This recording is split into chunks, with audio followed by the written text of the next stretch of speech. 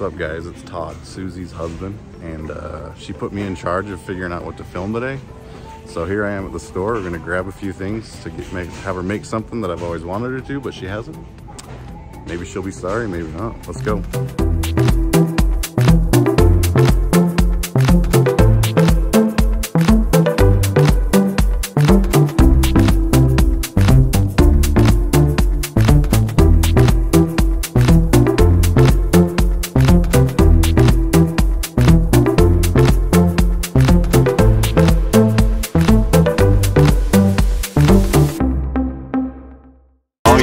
This stuff, Susie. I. She hates it. Right. Hey guys, it's Todd Susie. from Hey Grill Hey. I'm Susie's husband, if you don't know that already. Everybody knows Todd. Um, so we're doing this series where Susie's gonna cook something that she hasn't cooked that I really, really, really, really want her to. Okay. So we're just, this is our second one and I think we're just gonna keep going with it because I get to eat food that I like and Yeah. So the first one was bacon wrapped Oreos. The second one, I am not sure. I have a mystery bag. I have a foil lined pan and a bottle of Fiesta Rub. So we'll crack open this bag and see what's inside and hopefully I can make something yummy.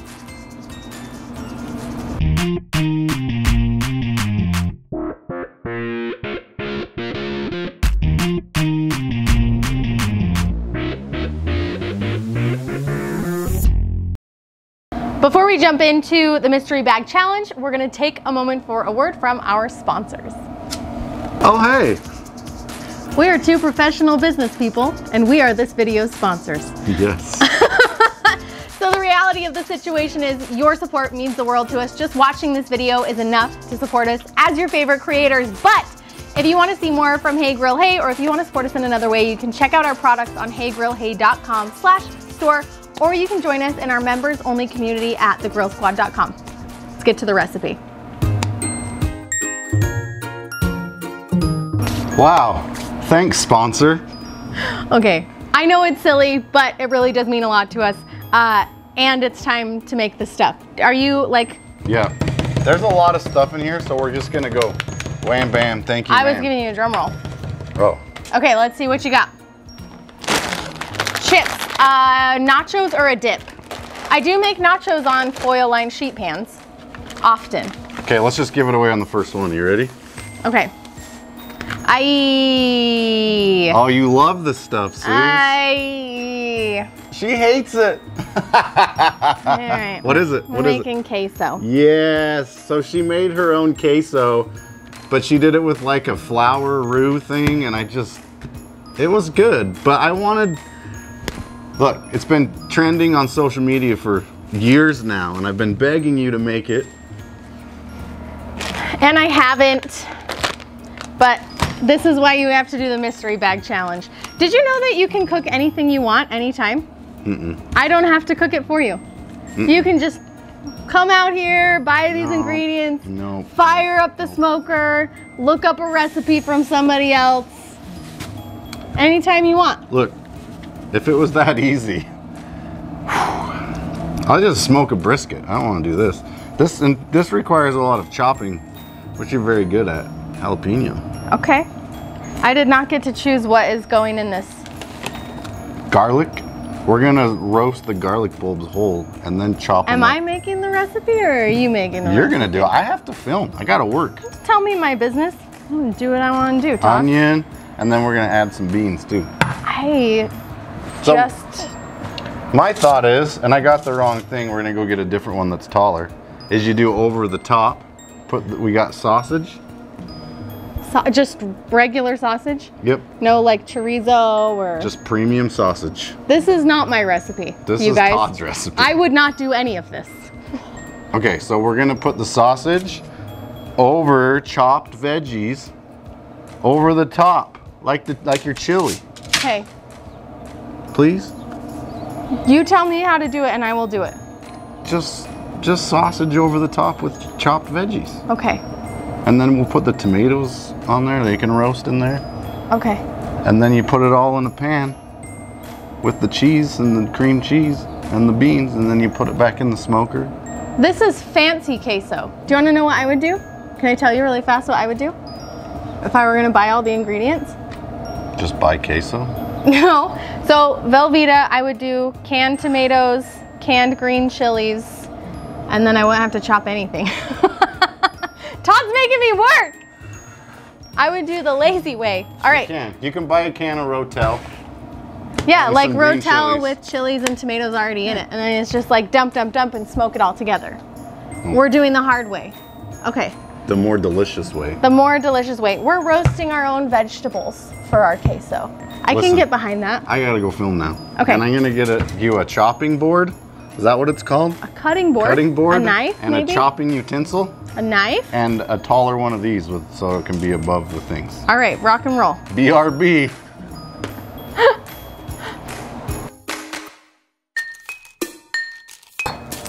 Okay, now that I know the situation, I have all the ingredients in front of me.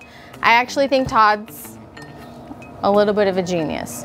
I was originally opposed to all of the fresh vegetables, but I think it'll be a really nice offset to kind of the like artificially cheesiness of the Velveeta, and maybe it'll give us a good, like a better, brighter balance. That's one of the things I struggle with. It just feels a little heavy. So the fresh veggies, that might, it might give us something, you know, a little something.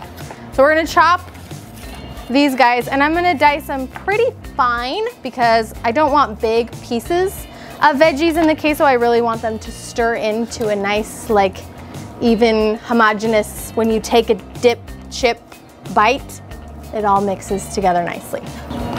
No seeds.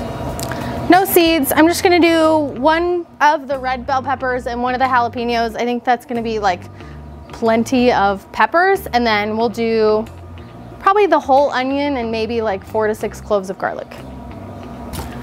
I'm thinking about these tomatoes. Like I said, this is recipe making on the fly. I think I'm gonna do half the onion in with the peppers and garlic, but I'm gonna save the other half of an onion and the fresh tomatoes and make a little, I got some cilantro here, I have some limes inside, make a little fresh pico to go on top of the queso. Again, I think that bright punchy will really lift like the heavy cheesy and be super nice. So no chopping tomatoes yet.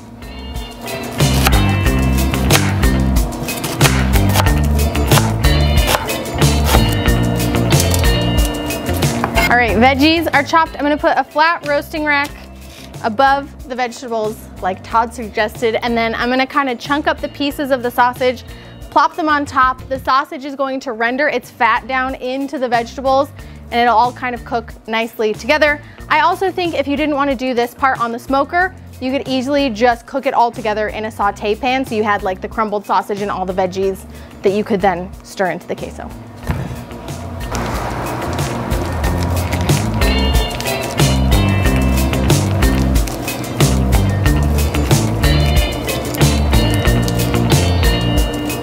All right, I'm gonna hit it with a little bit of my Fiesta rub also, or you could use something like a taco seasoning if that's what you've got at home.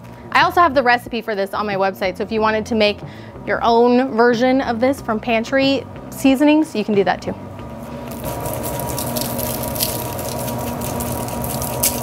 Boom.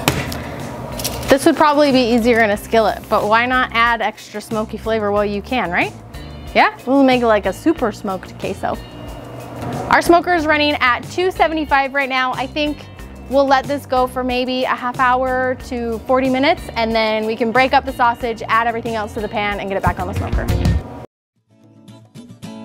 While our sausage and vegetables are cooking away on the smoker, we're gonna make the quick pico that I was talking about. I've got three tomatoes, a jalapeno, a whole bunch of cilantro, a few cloves of garlic, half thing of onion. I'll squeeze in, ooh, I caught it, lime juice to taste. And then I'm also gonna be using my Fiesta rub, which has like chilies and salt and pepper and cumin. Traditional pico, you really don't need all of it, but I've got it going on in the like veggies and I'm gonna put some in the queso too. So we're just layering the yummy flavors all together. And now I'm just gonna chop stuff for 10 minutes. That's dancing, not chopping. I know, I'm putting it off. Chopping the dance floor, you know what I'm saying? I'm tearing it, tearing it up on the dance floor.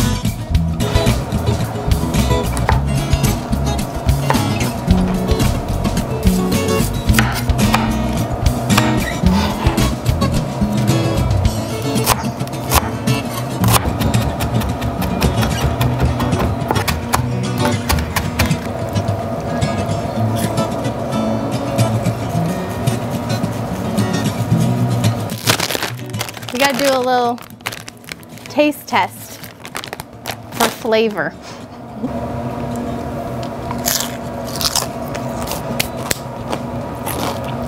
Mm. I think it has plenty of lime. I'm just gonna add a little more Fiesta. I think it needs a little more salt. And that jalapeno was mega mild, so this will give it a little bit more of a kick too. Boom, pico made. Set it aside, and then we should probably check on our sausage and vegetables. All right, our sausage is cooked through. Our veggies are smoky and kind of wrinkly and they're definitely cooked through. We need to crumble up our sausage and I think the easiest way to do this, I've never tested the theory, but it seems like it would work, is see how we've got these little cross grids here? We just like push them through. Oh, that's hot, don't touch it. Don't touch the pan. What do you think? Did it work? I mean, uh, I think so. It's kind of hot. I'm gonna call this a moderate experimental success. It's raining meat. Hallelujah, it's raining meat. Look at that. I think that worked really good actually. All right, we've got our meat and our smoke roasted vegetables. Just gonna combine that and then everybody is going to go in our aluminum pan for smoking and melting and queso ink. Todd, listen. This smells really good. The pico is really good. We have real cheese. Do I really need to put queso in it? Like fake cheese? Okay. All right, smoky veggies, meaty, smoky meaty veggies in one corner.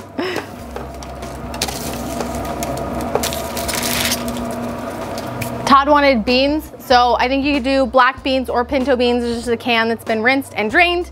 Um, or if you wanted it like creamier, you could probably do refried beans, but I was a little bit worried about the consistency of it.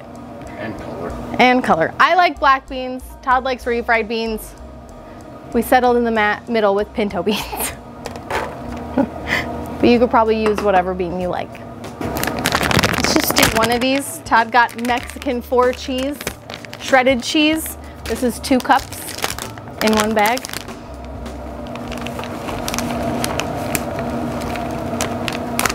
I got the cream cheese into cubes, plop that into one corner, and then our liquid gold. This is a, this size, 16 ounces, one pound. Do you think this will be enough? That's gotta be enough, right? How, how much? I mean, listen, if we're going for it, maybe we need two pounds of Velveeta. You asked for this. Also, you bought the Mexican version of this, which I did not know existed. Um, but I imagine that the regular one would probably work great. Looks like it has like some peppers in there maybe. A little extra peppery flavor. Just reminds me of spray cheese. We went through a real spray cheese phase as children. I think because um, the Goofy movie, the Leaning Tower of Cheese. So we thought it was cool. But then I, I don't know, maybe I ate too much and got sick, but just hasn't appealed to me much since then. I'm gonna put this whole pan back on the smoker. It's still running at 275 until all of our cheese is melty and then we're gonna stir it together. I have no idea how long this is gonna take, so let's find out. Um, I'm assuming also if you wanted to run this at 225 and get a little bit more of a smoke profile on there, you totally could. This is just about getting everything melted and at the same temperature and stirrable.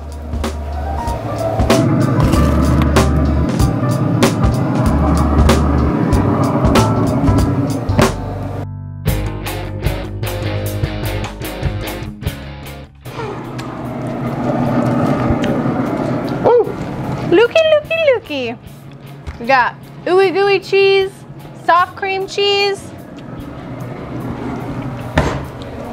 That looks good. Yeah. Actually, it kind of looks like a hot mess right now, but I think when we stir it, it will look good. Before you go to stir it, I'm gonna grab that camera and get Ooh, close up on pretty shots. Yeah. I'm gonna sprinkle with a little bit of our Fiesta rub and then stir it, so you got a second. Okay.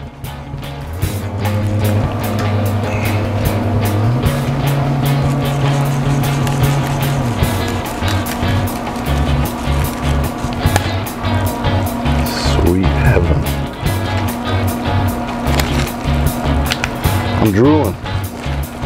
That smells awesome. More queso. I huh? cannot believe I am saying this, but I think we could have used more Velveeta. It's fine, it's just thick, but that's because we put lots of meat and goodies in it. I would think if you want something that's more like drippy, thin queso, then do two bricks of Velveeta. But for me, I think this is awesome. I think I'd rather have more stuff than Oh, yeah. If you want the thinner stuff, just buy the stuff off from the store.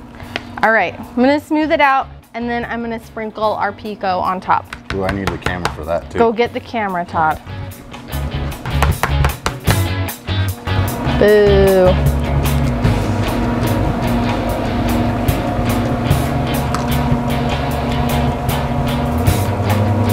I think that looks lovely. You can try some. For real? All right, we got our queso, is bubbly, is cheesy. We got our yummy pico on top. I'm seriously drooling. It's queso time. And I think one of our kids is gonna be home in a few minutes and he is Mucho queso. the king of queso. So we'll see if we can get him to try some of this goody goodness. Oh gosh.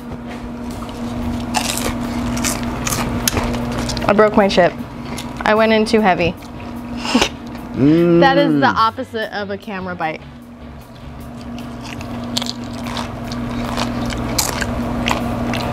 Oh. Hmm. I wouldn't want more of the Velveeta in there because it's very prevalent. You could thin it out with some cream, heavy cream or some milk or something, right? Yeah, I think if you wanted it thinner, you could totally add some milk. I wouldn't add more Velveeta to that. It's already too Velveeta. It's very Velveeta-y. But the milk, the juice from the pico helps a little bit. The milk. You didn't put it in I know, but if you added milk, it Oh, would right, thin right, it out. right. Okay, okay. Okay, listen. I'm sorry it took me forever to make this. This is absolutely really, really delicious. Yeah. Yeah. I have to stop temporarily to do the outro. Are you ready? We want to help you Why do you always say it and it looks like you're like making fun of because me? I don't remember and making fun of myself because I've heard it 40 million times and I can't say it.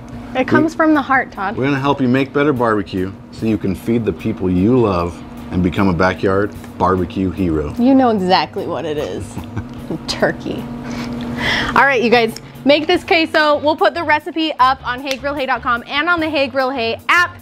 I know this is a little bit different than some of the other quesos out there, so I hope you enjoy the Hey Grill Hey version of it. This was definitely a Todd and Susie, our powers combined type of recipe. Hope you enjoyed the video. We'll catch you guys next time. Thanks.